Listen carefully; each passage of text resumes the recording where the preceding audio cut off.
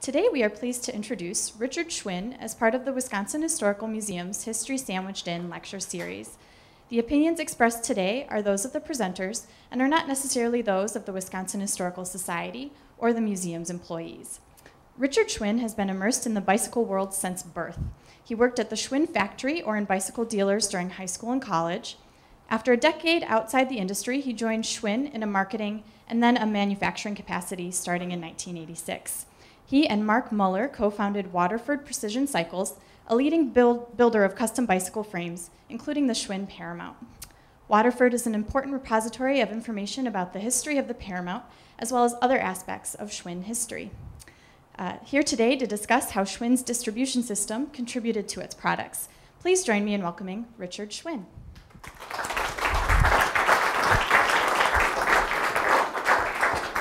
Thank you.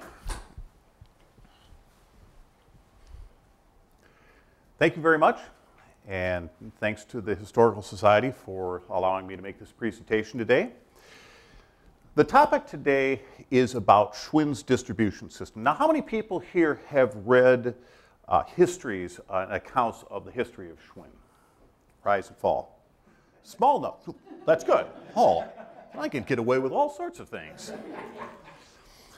I think everyone would agree that one of the secrets to Schwinn's success and the real foundation was the quality of its products and the fact that it had so many great up-to-date products and, and in a few cases, products that changed the whole character of the bicycle industry. And we're going to talk about some of those.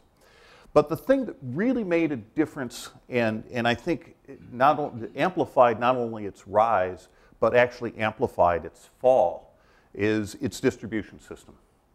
And so this is going to be kind of a technical discussion about the nature of bicycle distribution. So if you were looking for real excitement, I'm afraid uh, you should have brought a pillow. But that being the case, we're going to we're going to move on here. The company started in 1895, but our story is going to start in 1932. This is a map of bicycle distribution in 1932 across the board. You'll see a number of players there. At the very top are the parts suppliers. Now, these would be people who supply spokes, they supply hubs, they supply tires, other various parts that the manufacturers assemble into a bike. The manufacturers, in turn, sell to a variety of people. If uh, they're, they're the mass merchants of the day would have a direct relationship with a manufacturer. And the mass merchants of the day would be people like Sears. Sears was basically a catalog house that was building a network of stores. Montgomery Ward was another example of that. So these are the people who, who were the big box, they were the Walmarts of their day.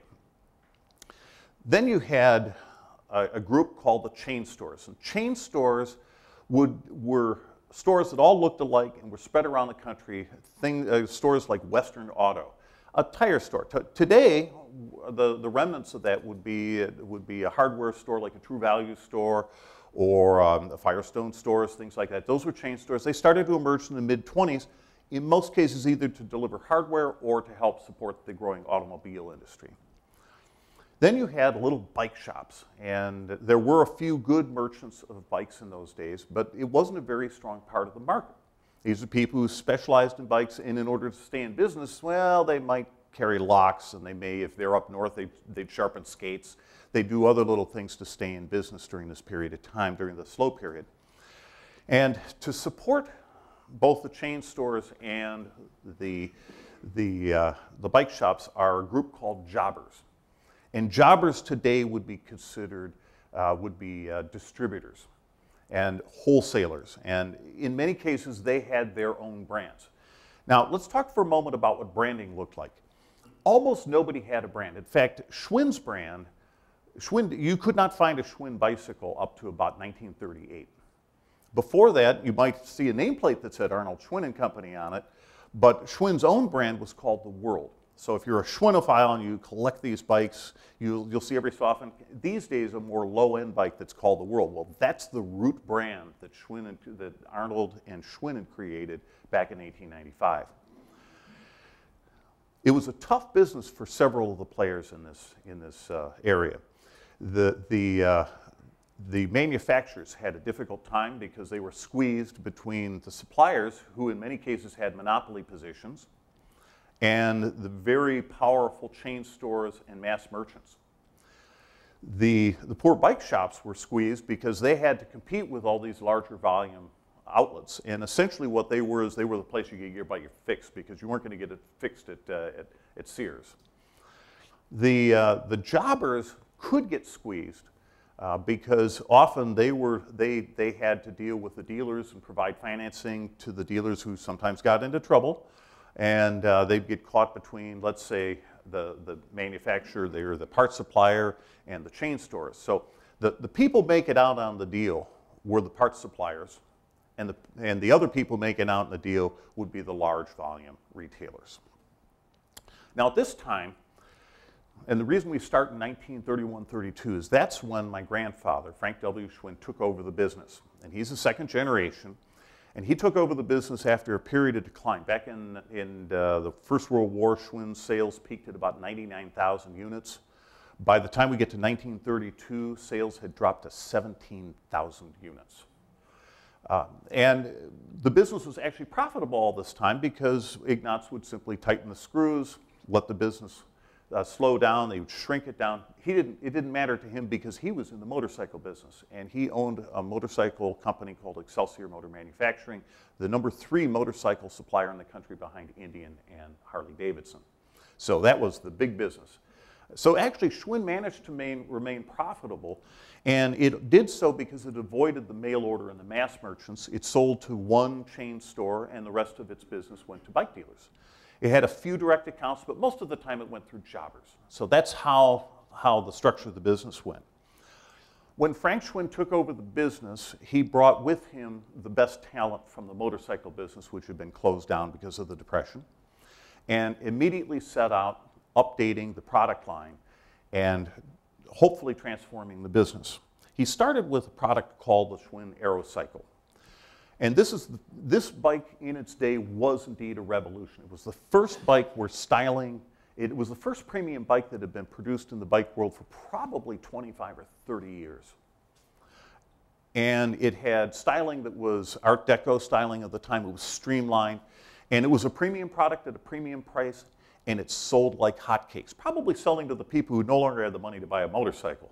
And the company's sales, because it and a number of other products went from this 17,000 units to over 360,000 in 1936 and over 400,000 by 1937. Now, you'd think that you'd be able to keep that kind of, of dominance without, uh, and, and uh, a lot of people think that Schwinn was alone in this, and that's not true at all. Uh, this is an example of a bike called the La France. It could be one of 50 different terrific quality bikes that entered the market in the mid and late 30s. The La France is interesting because uh, here is an absolutely beautiful bike that, uh, that was made by Dayton Manufacturing. And those of you who are really steeped in history know that Dayton Manufacturing were the makers of Huffy, which are not known for building a great quality bike. But they could get it together for this, and it, you will see that there are terrific, beautifully styled bikes, and I could spend all day with, uh, with examples of competitors that popped up in the 30s. In fact, if you go to a museum, only a few of the bikes would be Schwinn bikes, even though Schwinn had a very dominant position. You had all sorts of other competitors. Well, 1937, recession comes along, and my grandfather goes, you know, what do I do now? Because the simple matter of product was not enough. So he looked at three areas. One was he was going to attack costs. Now, we're not going to talk too much about how the factory operates. I could spend a couple of hours on that whole topic. But he was able to get his father to invest a substantial amount of money to buy new tooling, update the paint system, and uh, that gave him a significant advantage both in reduced cost and improved quality. The second thing he did is he got into branding. Now, up until this point, even on that, that uh, the, the Aerocycle, you cannot actually find a Schwinn sticker on it. It is simply a model that says Aerocycle. By the time he get, he finally introduced brands of his own in 1938, and it's subtle compared to today. Our bikes today are literally billboards for, for their brands. And you see a little Schwinn cross on the chain guard, and that constituted branding. The other topic, and the one he put a lot of energy into and was, and was only working on solutions for a while, was how, well, how to deal with merchandising. And there were a couple of issues. One was the whole issue of pricing. A lot of games are played with, were played with bicycle pricing at the, at the time. Everyone wanted to have a cheap price. Uh, consumers wanted a cheap price, retailers wanted to have a cheap price, and so it was, there was all sorts of games played. Some games were games like, well, here's a bike that I want to sell for 50 bucks. I'm going to market at 60 bucks, and I'm going to give it a $10 discount. And that was a, a very frequent practice, and you might even see a little of that today if you're in the right spot. The, uh, the second problem, and one that caused havoc for the distributors dealing with mass merchants, was the notion of a loss leader. And this, and the idea is that the, a company like Sears would go, look, I need a $20 bike. I don't care how you make it, it needs to be $20. You get a $20 bike, I'll buy them. If you can't get a $20 bike, I, not, I might not buy anything from you. Well, you damn betcha that they went off and, and built themselves some kind of a $20 bike built with garbage components that came from the monopoly tire supplier, the monopoly spoke suppliers, and the monopolies that all controlled so many of the parts. And of course, in, in, in some cases, that loss leader was a loss to the manufacturer. And then the goal was if somebody came in the store, they weren't going to end up buying that $20 bike. They were going to get stepped up to $30 or $40, whatever kind of bike that they could get away with selling. And uh, in those days, even in a mass merchant uh, setting like Sears, you ended up having sales help that we wouldn't see, let's say, if you went to a Walmart or a Target or someplace like that. So that was another game that was played. A third one wasn't a game, it was a fight. It was a price war that might take place between two, two uh, retailers in an area. What happens in a price war is you start with price matching and then you accelerate the price matching and then you know you start oh it's 50 bucks. Well i'll sell for 45 well i'll sell it for 40 i'll sell it for 35 pretty soon these two warriors are not making any money on this bike. So what do they do? They stop trying to sell it. So what happened to the manufacturer? Well no, they're not selling a perfectly reasonable bike because these two people are duking it out. So these are problems that, that Schwinn faced and anybody in the bicycle business faced.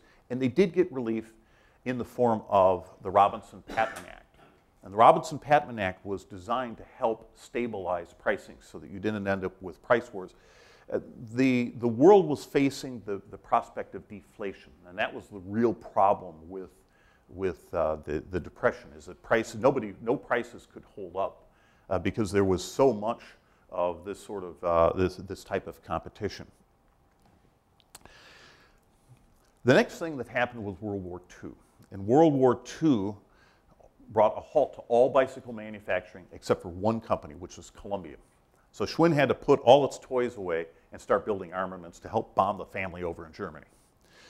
The, this had a significant effect on a number of, uh, number of fronts. One is that a lot of the people, especially the small uh, nameplates from the 30s, got out of the business because for the first time, they actually had gainful employment. We had full employment during World War II. It was an economic miracle. We could blow things up and help the economy. The, the second thing is that my grandfather, who had no intention of getting out of the bike business, had time to reflect. And in fact, uh, a lot of the materials that I have here come from a treatise that he wrote. It's 50 pages long, double spaced, on the history of merchandising in the bike business. And he really, stu- I got some choice quotes out of there, but I, time does not permit going through them today. But, uh, but what, he, uh, what he did is he used it as an opportunity to reflect on what's going on and to develop a plan for the future. And even though Schwinn did a terrific job in developing the balloon tire bikes, and Schwinn would be associated with some great innovations in the future, the real innovations that made Schwinn the household name it is come from marketing. So let's talk about what happened after the war. The first thing was what is known as a Schwinn plan sales. Now, the Schwinn plan, this is another distribution thing, get your pillow out. Remember how we had that map with the jobbers. You'd sell the bike to the jobber, the jobber would turn around and sell the bike to the retailer. Well, in California before the war, one of those jobbers got into financial trouble. So Schwinn was faced with a choice cut them off send the, send the bill collectors, and, and, and then not have people to service their accounts. Or they could find an alternative. And the alternative they found was to say, okay, Mr. Wholesaler, I'm going to sell the bikes direct to you. You're going to continue to sell, you're going to continue to have your salesman service these accounts, and I'll write you a commission check. And a relatively fat commission. It was a commission that a wholesaler could pocket a fair amount of money to help get their business back in order. And guess what? They didn't have to handle all of these bikes. And they also didn't have to handle the credit. So the result was Schwinn was able to get more dollars in its pocket because it didn't have to pay as much money to the wholesaler. The dealer didn't have to pay as much as they would otherwise have to pay if they were handling all the costs that the wholesaler had. And the wholesaler was getting money without having to dip into capital.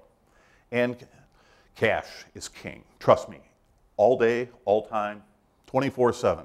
So this turned out, it, it was looked at um, very uh, skeptically by a lot of the other distributors, but it turned out to be very successful. So once the war ended and they were starting to build things up, Schwinn started out by saying, we're going to use the Schwinn plan throughout the country.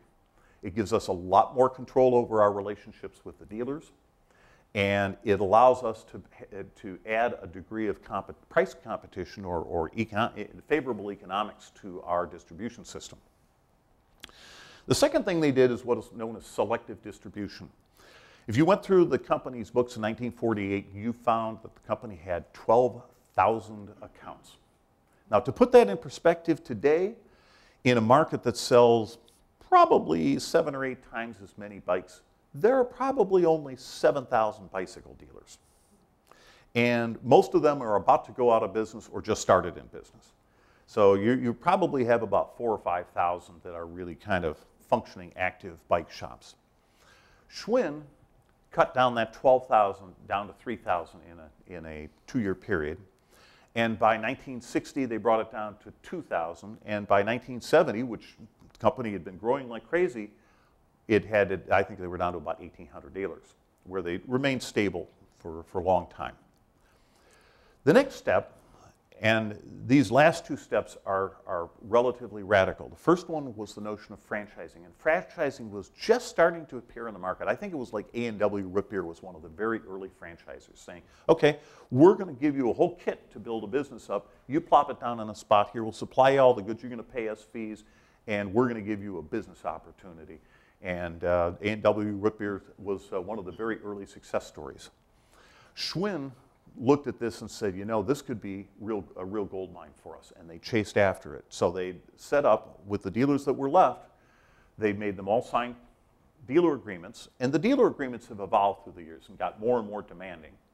But they started out as something very simple. You're going to provide, you're going to sell our products and represent them well, you're going to pay your bills, you're going to uh, develop a, you're going to, uh, you have the ability to use the Schwinn name in your store you're going to follow our fair trade pricing, and we'll let you be a franchisor for a year, and we'll take a look at the agreement then. A number of dealers didn't buy into it. It's part of the way that Schwinn culled the herd. But uh, a fair number did, and a growing number, and it began to have a, a, a strong impact. Now, fair trade pricing is a very key component to how Schwinn operated and I'll explain that in the next slide here after we walk through the Schwinn distribution map. Uh, here you can see how, uh, how Schwinn has, has now moved to supplying its, its shops directly. Uh, the chain stores, uh, Schwinn had one chain store, BF Goodrich, and it phased out of that chain, stores in the, in, chain store in the mid 50s. So it was strictly a bike shop oriented uh, enterprise. And it still had the jobbers in place. Now, here's how franchising worked. Schwinn let you use the brand. So you could have a Madison Schwinn store. And at first, not many people did it, but after a while, they started. The second is Schwinn had money for promotions. So they would promote the brand very heavily. And I think if you follow Schwinn history, you'll see a lot of the tricks that uh, Schwinn did through the years. Uh, way before the, uh, the licensing people figured it out, you could give a movie star a bike, take their picture, and you could use that photograph anywhere. And so a lot of the movie stars got photographs of them on Schwinn bicycles until their agents figured out, hmm, maybe I could get more than just a bike for that. The second thing that happened is Schwinn figured out some media that were actually not all that expensive. Television wasn't all that expensive. So Schwinn made friends with Captain Kangaroo and so started advertising their kids' bikes on the Captain. How many people remember that from their youth? There we go. You're dating yourself, but it's good. And you know, Captain Kangaroo was the Sesame Street of its day and a terrific show. Uh, in addition, Schwinn was on the back page of every boy's life. So if you were a Boy Scout, you had, you had Schwinn in your face all the time. Schwinn published comic books. And so you get a comic book that was a great promotional deal, and I think they worked with Disney on comic books that, uh, that had big Schwinn ads in them. The uh, Schwinn also, and this is later in the 50s, added service school so that you could learn how to build, rebuild a complicated coaster brake hub or a three-speed hub. And that became a really handy tool as we go down the road. But the way, and they had a sales school using sales techniques. The whole, the big picture was to formulate a style of store that would be the foundation of the company's success. This is the prototypical example of it. This is a store named Valley Cycle, and you'll see a little sign that says George Garner. Valley Cycle is in the North Valley area of Los Angeles, and it is a prototype of the store that, that really changed the face of bicycle retailing. And I'm sure that you've encountered a store that looks a little like it with a great open glass. You can see the, uh, the white pegboard all around there, great lighting, great merchandising. This set a new standard for retailing. And George Garner was very successful. He had three stores in, in uh, the Los Angeles area. And then when people complained that he couldn't do it in a cold weather area, he opened up a very, very successful store in Northbrook, Illinois, which he still owns and operates. The, and, but you can see out front the Schwinn sign and how dominant it was. In many cases, people put the Schwinn name in their, their, uh, their business.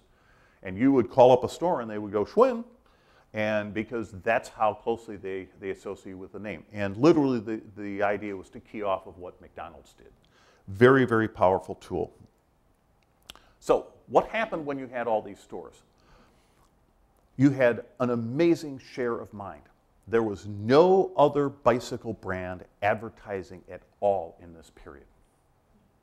The only bicycle ads you saw were bicycle ads by Sears for bikes you could buy at Sears. And they didn't even name the name, they named the price.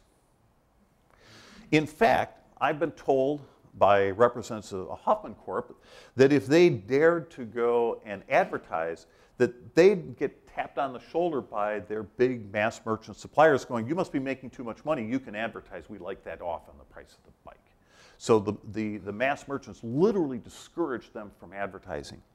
Schwinn, on the other hand, was able to advertise nationally in relatively economical media. The second thing that they could do is they had all these stores with big billboards. So from the consumer standpoint, there was really only one brand of bike out there. The second thing that you could get out of having these franchises is you had committed dealers who had every reason to share with you anything they learned about the market which we'll have a case study of that in just a second. You also had methods, like we saw with George Garner, that you could duplicate in other retail locations. And because they weren't in price competition, because Schwinn stuck with the fair trade laws, dealers didn't feel like spreading this knowledge would get in the way and that it would hurt their business. So it was a great way to get information to move throughout the network and have great Schwinn stores throughout the country. Finally, it was an opportunity to disseminate new technology. And at first, there wasn't a lot of new technology. The service school was used to do simple things like disseminate how to take apart a hub that had been around for 50 years or more. But you'll see that it'll have a, a dramatic impact as we move into the 60s. The first case study is the Stingray. Now, many people think that Schwinn invented the Stingray. That is actually false. Not only did Schwinn not invent the Stingray, but Schwinn didn't sell more Stingrays than anybody else. Huffy sold more Stingrays than anybody else. Of course, they never had a name to it. They couldn't advertise it. But the guy who invented the Stingray went to Huffy first because he knew that they were the biggest bike, uh, bike company in the country. Now, unfortunately, the Huffy people don't deal that much with real consumers. They deal with mass merchants. They took this idea, and they plugged it into their mass merchant network. And the mass merchants looked at that funny looking bike and go, that's never going to sell. Give me another cocktail. And instead, what happened is the Schwinn dealers found out about it. Now, Schwinn dealers are little family businesses, usually in neighborhoods. And I'll tell you something if you want a great childhood, pick parents who run a small neighborhood bike shop. It's a wonderful experience.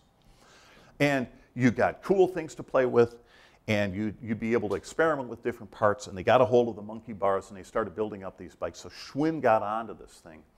Now, Huffy's one mistake Huffy made uh, that, that cost it fame, if not fortune, because I am convinced they sold boatloads of these bikes, um, was they named the, their first version of this the Penguin, the Huffy Penguin.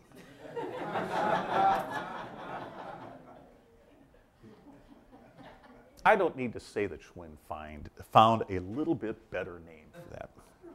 But it's an example of the use of intelligence to make, to make a new product go. Can you hold on questions here? Because we're going to be, uh, we will be, uh, we'll be doing question and answer after we're done here, and I'll go, I'll take as much time as anybody like. The next case study is the 10-speed.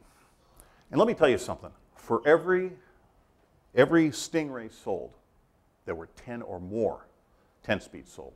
This was the real revolution.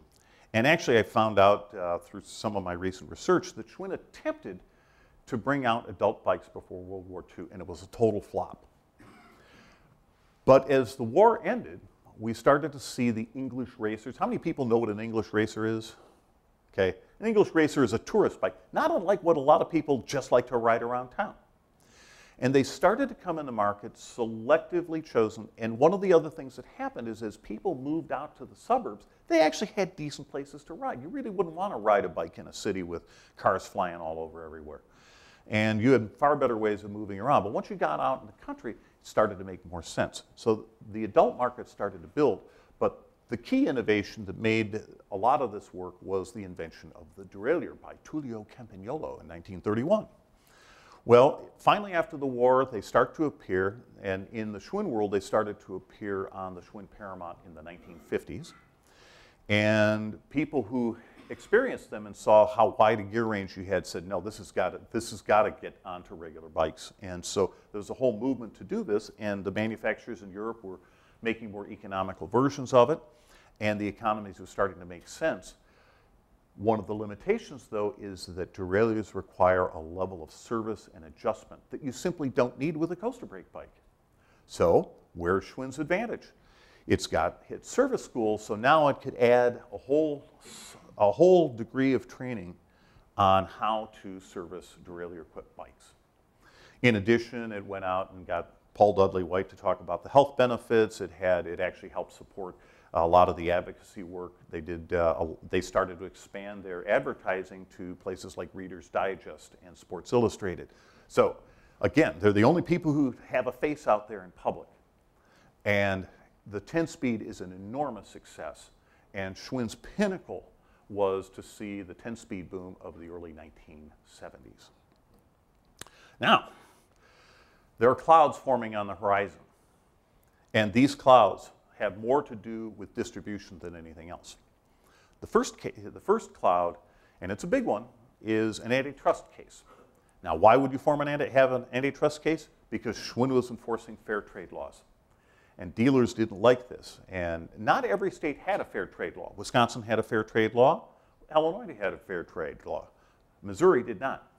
So the Missouri dealers were accusing Schwinn of forcing them to use fair trade methods. Now, I'm sure that Schwinn wanted them to use fair trade pricing, uh, but they knew better not to violate the laws. But nonetheless, they convinced the U.S. attorney in St. Louis to start an investigation. And it takes a long time for an, it, it, in those days, it took a long time for an antitrust case to filter up, and it, it went through the, the district court, and uh, Schwinn won in the district court. It went to the appeals court, and they won at the appeals court, but they lost at the Supreme Court. Now, the good news for Schwinn is the Supreme Court said, well, there are no damages. You actually haven't hurt anyone with this. But the mere fact that title goes from you to a wholesaler, and that wholesaler is required to sell it to a dealer and not sell it to anybody else, means that that's a per se conspiracy. So you have to find another solution to this. What Schwinn did to solve that was to create, to, to get rid of their, all of their jobbers and to create their own distribution system. Then they could control it all the way to the dealer. Now, I'm going to submit to you that that was Schwinn's first major bad decision. And I'll explain that in a few minutes. But what Schwinn did is they had, they had, they developed very nicely organized, well-developed uh, distribution centers. They, they did manage to get good talent out of the jobbers that were left, uh, that, that were still in business, and they were able to start that distribution. And, but that was only the first of many problems that crept up in this period. Now remember that this is a period where the adult 10-speed market, the stingrays are going, so Schwinn's general business is going on great. But these are the problems that came back to haunt it, especially in the late 70s. The second blow had to do with franchise regulation. Schwinn had said, we're a franchisor. They started developing the methods. They looked more and more like the kind of franchise you would get for a McDonald's.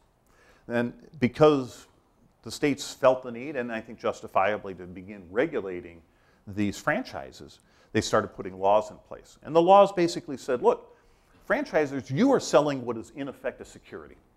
You are selling an investment. You're not that different than a stockbroker. So you need to have the kind of infrastructure in place that you would have for a stockbroker. You have to have prospectuses. You have to have disclosures. You've got to follow through on all this stuff. You need to disclose what what kind of capital you have so that you don't, don't take this person's money, go out of business, and leave them high and dry. So that's fair enough. Schwinn was going to have no part of disclosures. So what it said was, we're going to move away from that. We're going to transform, since we don't actually charge a fee, and that was the only hook that kept them from being called a franchisor, what we'll do is we are going to go back to a dealer agreement that'll look just like it, except we're going to make sure it says it doesn't say franchising, and we're going to be sure not to charge a fee. And you know what? It was the middle of the bike boom. So sales were continuing to sail along, so the problems weren't obvious at that point. Now, the decade of the 70s was, was, uh, had its ups and its downs. The first half of the 70s was terrific. It was the bike boom. The only problem with the bike boom, besides the clouds on the horizon, is that they had price controls. So Schwinn didn't have the ability to raise prices nearly as much as they would have liked. Um, and, uh, and, but at the same time, they sold bikes like crazy. They got up to almost a million and a half bikes. Then the last half of the 70s came along, and when the bike bust hit, it was big time. Uh, the industry sold 15 million bikes in, in 1975, and that figure dropped down to 6.5 million in 1976. Absolutely devastating. Now, Schwinn could withstand that, uh, but Schwinn's sales went down very significantly well, as well. I think they went down by almost half. So it was a big shock uh, all the way around. But more things happened. First is you started to see a whole bunch of new competitors, and people go, well, where did those competitors come from? Well, they came from the jobbers Schwinn fired. He put all these jobbers out of business. Schwinn had been their exclusive bike line and they needed to scramble for business. Well, they couldn't find any decent American manufacturers, so they started hooking up with the likes of Peugeot and Motobecane and the Italians in, uh, in, in, Europe and, and on, on the West Coast, you saw people hooking up with the Japanese. So you had all these new people in there and companies that had a really good reason to want to compete with Schwinn. The second problem that came up was the rise of what we call the vertical press. The vertical press is bicycle interest press. How many people are familiar with Bicycling Magazine? Okay, Bicycle Guide. You could go back and, and in the day they had two magazines that were competing. And these magazines were great because uh, were, were great ways for people to learn about bike culture, and that's really terrific. But they didn't think the way Schwinn thought. I mean, if I were them, I would want them to say, oh yeah, all your, you know, there are all these brands out here, but you know what, all your needs can be solved by Schwinn. We've got something for everyone, and it's great value. Uh, that doesn't work for them because they need to sell content. Their incentive is to have more brands, more different advertisers, and for every, to equalize the visual field. So instead of having Schwinn with being the only face in advertising which it had at a national level, Schwinn was just another brand. Just like back in the 1930s, it was just another really nicely styled bike. Now, a big company behind that nicely styled bike, but you had choices of hundreds of alternatives, and that's one of the problems that, uh, that, uh, that Schwinn had to face. A third area is that bike racing started to come back. And a lot of people said, that's great, we love bike racing, that's going to help promote cycling. But the problem with bike racing is number one, is it sucks a lot of money. It was starting to, it was going to be a lot more expensive to play in than it used to. Not nearly as expensive as it is today, but uh, that was another area that sucked capital out of the business. And that made the environment much touchier. Then you get to the whole issue of the end of fair trade. And that was ultimately the straw that eventually broke the camel's back. It wasn't the last major distribution mistake Schwinn made, but it was really the, the major turning point. Because now it was the fair trade laws that allowed Schwinn to have a competitive retail price and a, enough money to be able to promote at the level that kept Schwinn's name out front. And as a result, it immediately had pressure from its dealers to raise margins because all of these competing bikes from all of these foreign suppliers tended to have higher margins. So they could fit in underneath Schwinn. Schwinn, the, on the other hand, had all this very expensive promotion, especially national advertising, which was getting a lot more expensive. A, a, a page in Sports Illustrated went from, you know, $15,000 in the mid 60s, and it was now $60 to $80,000 10 years later. So it was a huge difference. They were having a boom.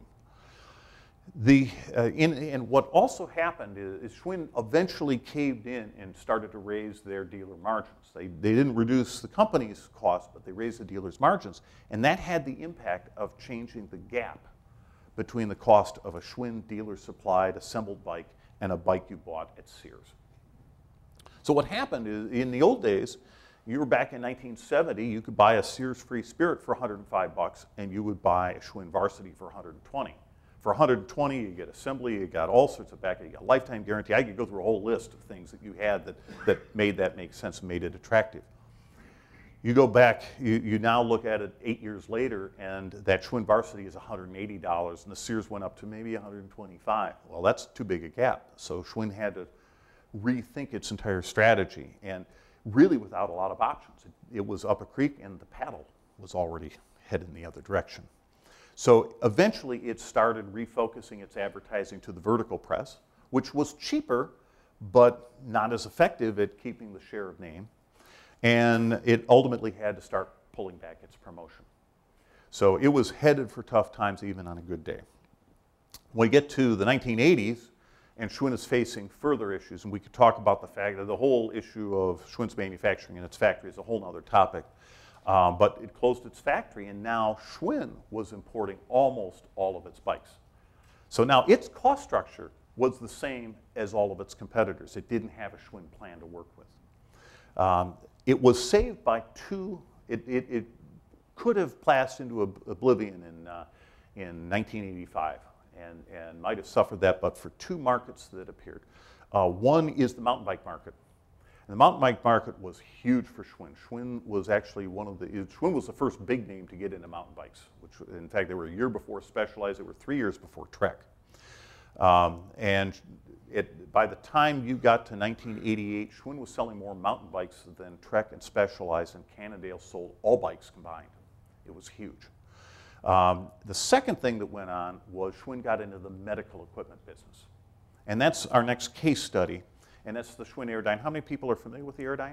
Okay, ah, I've shown your age. But the, uh, the Airdyne was never was positioned as an ergometer, a scientifically, a, a way to provide measurable work. And the value of it is when it was sold by a Schwinn retailer, it was often prescribed by a doctor. And the insurance company paid for 80% of it because it was medical equipment. So it retailed for $600, but it only cost 120. Schwinn was able to use its sales school to teach people about selling medical equipment and how to service in a service school how to service medical equipment and to deal with what how to deal with uh, uh, ergometry and all the sciences behind the Airdyne. It was a terrific machine. It was very successful. It saved a lot of lives. It was a great piece of medical equipment. What happened in 1988 was it was transformed. And Schwinn decided to change the name of the company because uh, a couple of go-getters got in there. Schwinn hired them to help expand the market, and the assumption was the medical equipment business would continue and they could expand into fitness and they could expand the line. More is better, isn't it? Well, what happened is, is in the course of becoming fitness equipment, now you got into a category that the National Sporting Goods Association pays attention to. You were now suddenly on their radar. They were collecting statistics. They found out you sold a pile of these things. And guess what? Everybody looks at those statistics go, here's a market we could get into. So you had people coming up with cheap imitations that might be $300. And you say, well, that's great you know, it's only going to cost 120, except for once you started repositioning the product as a piece of fitness equipment, it now costs $600. And even though it was twice as good as the $300 item, and then some, it really lost a lot of its competitive oomph. Now, that didn't go away immediately. Airdynes continued to sell, but not in nearly the same way.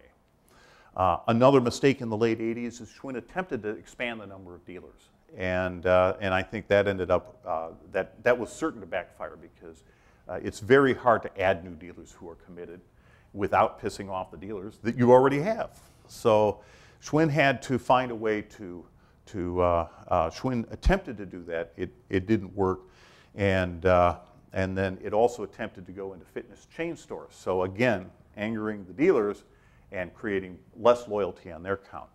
And as it lost its leverage, it became more and more vulnerable to the general economic conditions. And in Schwinn's case, the big problem ended up being the, uh, the bank crunch of two, uh, 1991, and it had to be financially reorganized, which is how I got a hold of Waterford Precision Cycles, in case you're interested in the custom bicycle.